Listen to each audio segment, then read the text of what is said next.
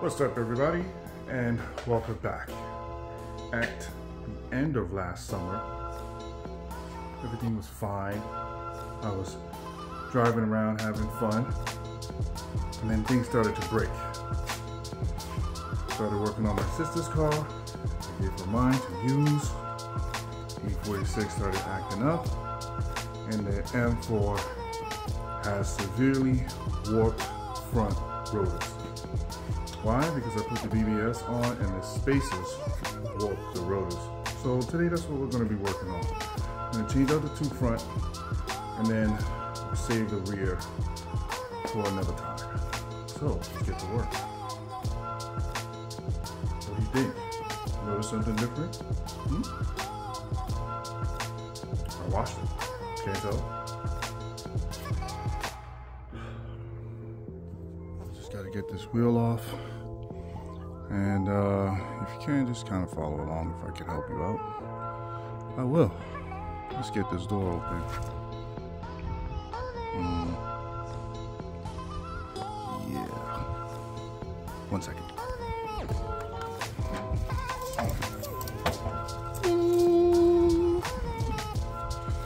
The glorious. S55.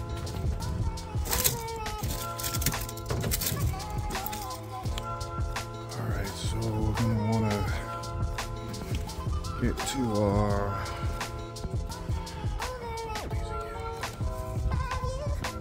All right, so I can just kind of pop this off and spin it. That's.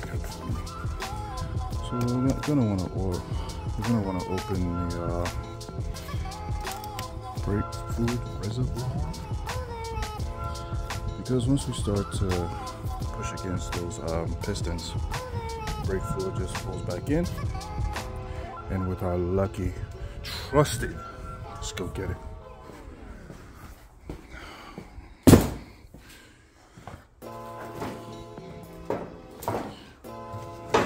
Oh, yes. Mm-hmm. Turkey baster. When that fluid starts to come back up, if we need to remove some, just, just go to the turkey baster in there and just remove the fluid. Supposed to take this car back to the truck. The are severely warped. You're, uh, the brakes. The whole car is vibrating. Doesn't feel too good.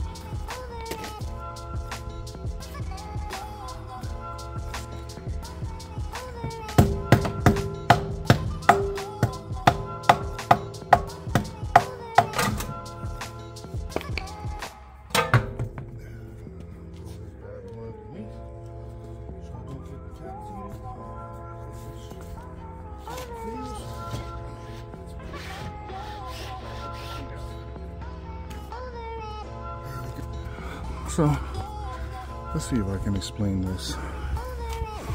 Okay, there's two little pins that go right here and right here that hold the brake. It's a brace. Just gonna slide that out. Loosen this up right here. I forgot what torque it is.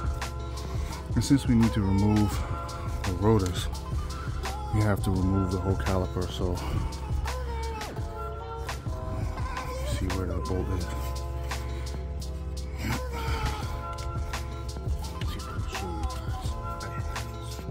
Here, this one right here, and this one up here.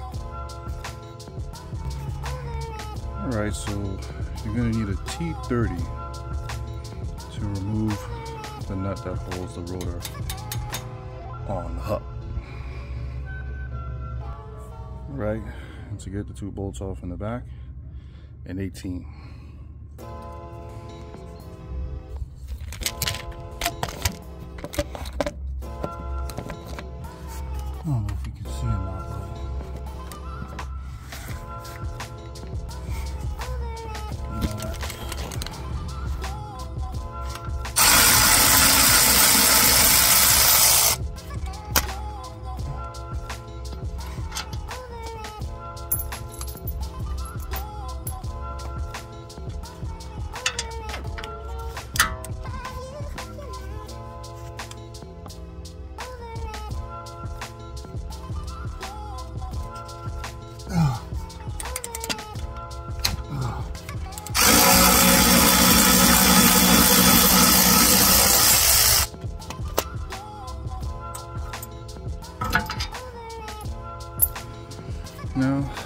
Hole punch, well, the punch that goes in here. Just hammer out this pin and this pin. And then that bracket comes off.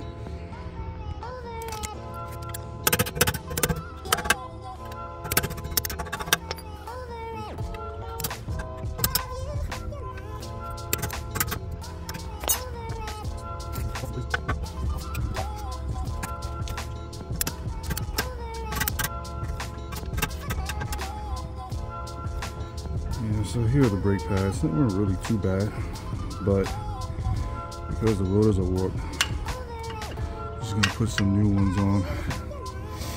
You can see this one, it has a lip on it anyway, so just go ahead and take off.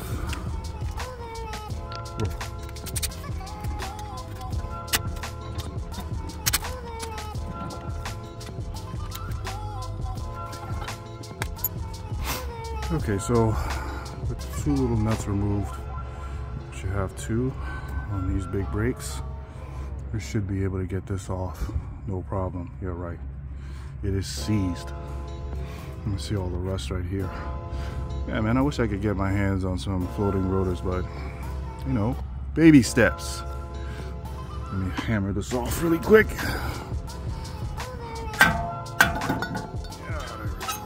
Hang on, buddy. All right, so while the rotor is off, see how this is rusted like this? I like to take a wire brush to it, to all of it, and just apply some anti-seize.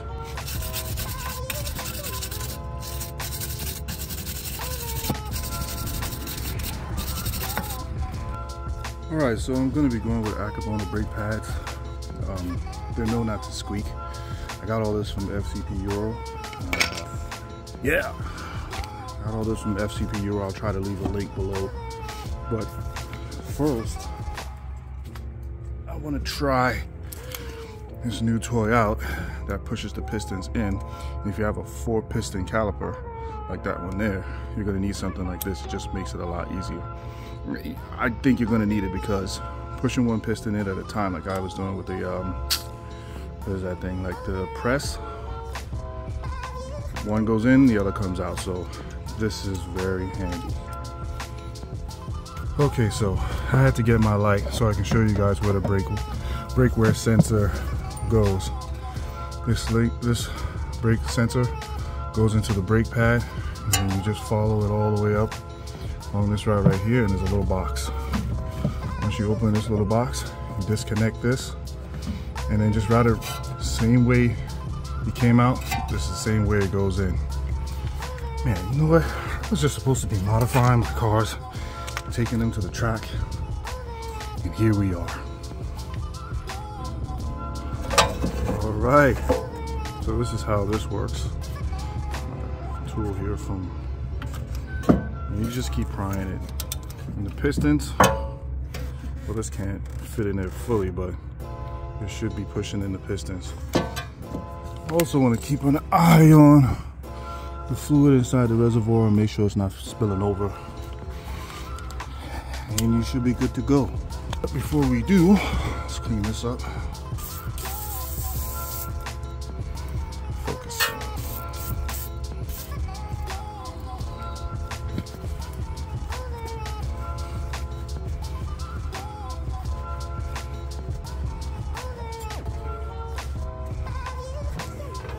And then I'm gonna wait for this to dry and apply some of this anti-seize lubricant.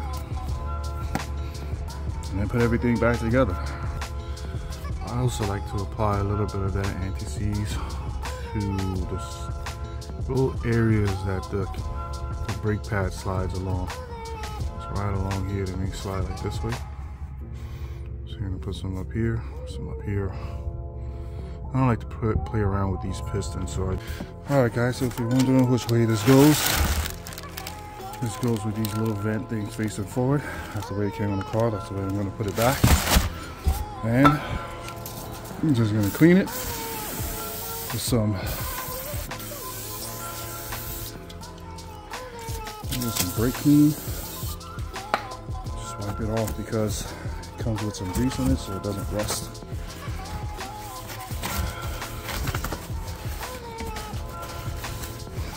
That's it. I'm just gonna go ahead and do this side.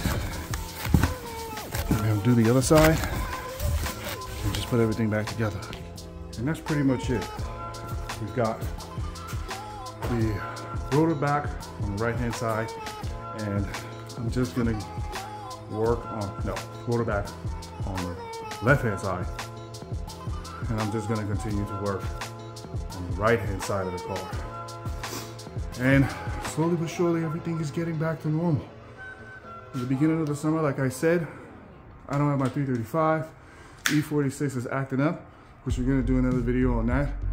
And the M4 rotors were severely warped. Let's go. We made it, boys. See you guys in the next one.